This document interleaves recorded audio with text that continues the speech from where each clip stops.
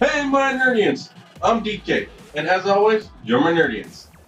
Today we're going to be doing a very special episode. We're going to be talking about the Batman and his awesomeness. Let's go.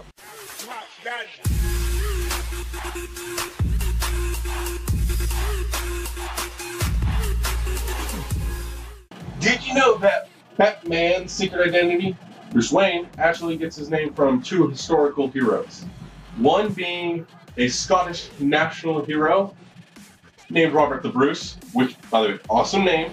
And the secondary one being from our history ourselves, America's history. He was a Mad Anthony Wayne from uh, the Human Re- Revolution. Well, American Revolution.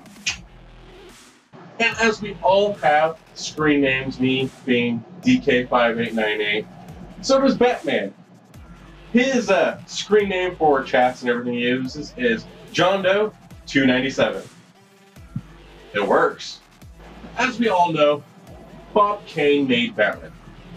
But not until recently, a man that came up with the idea for Gotham Batman, his persona, and so much more, so many more characters, Bill Finger, yes, I know, funny name, was not credited to Batman for decades. Um, it was so long that he was just not given credit, but Bill Finger had a major key point into creating Batman. So let's give him credit for credit's too. In 1939, Detective Comics number 21, Batman showed his costume, and it was different. He was red latex, a yellow belt, blonde hair, Batman blonde, and he had a mask like Robin and giant bat wings. So basically, he was Robin and Batman together. Thank God that changed. Christian Bale, the saving grace of Batman and a beloved icon of a trilogy, refused to do any Batman movies if Robin showed up as Robin. That's why at the end of the third movie, his Robin is just a name. Did you know, because I didn't, that Bruce Wayne himself, the Batman, has an older brother.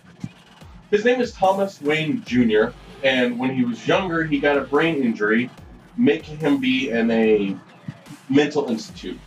Later, he got out, and there's a whole arc of it. But yeah, older brother, no one knew that. I did. So, throughout comic book history, everybody's been putting Tony Stark and Bruce Wayne Batman on a pedestal. They've been arguing Tony Stark's just a Marvel Batman, and Batman's just a DC Marvel Tony Stark.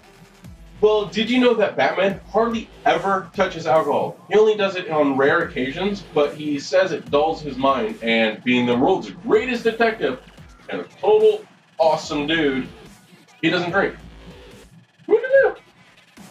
Well, my nerdians, this is DK. Those are my fun facts about the Batman.